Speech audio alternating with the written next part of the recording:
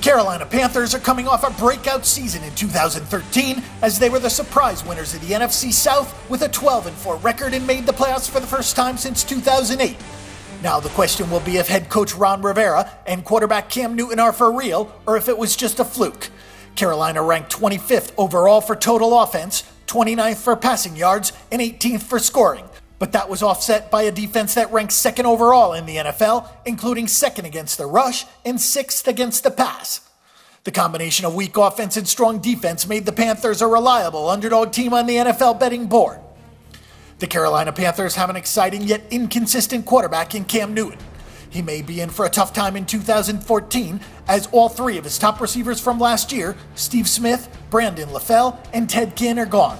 The team added Jerricho Cotchery, and Jason Avant, and they took Kelvin Benjamin in the first round of the draft. The offensive line looks worse this season, as the only effective lineman returning is center Ryan Kalil. The team still has running backs DeAngelo Williams and Jonathan Stewart, but neither have looked good lately.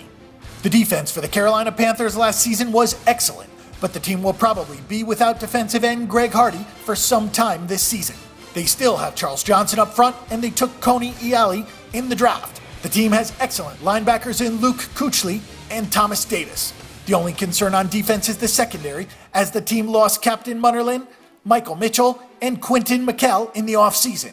The team has to hope that Benny Benwikere is ready to step in.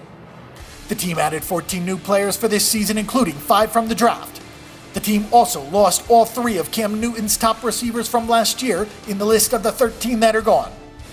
The Carolina Panthers have covered the spread in 10 out of their last 15 games as an underdog, with 6 out of their last 8 games as an underdog going under on the total. The Panthers have lost just 2 out of their last 8 games as chalk, with 6 out of their last 7 games as a favorite going under on the total as well. The team paid out in 9 out of their 16 games against the spread last season, and their straight up record was almost as good at 12 and 4. Join us at betdsi.com for the best Carolina Panthers betting options, including futures, props, and live in progress betting during the games.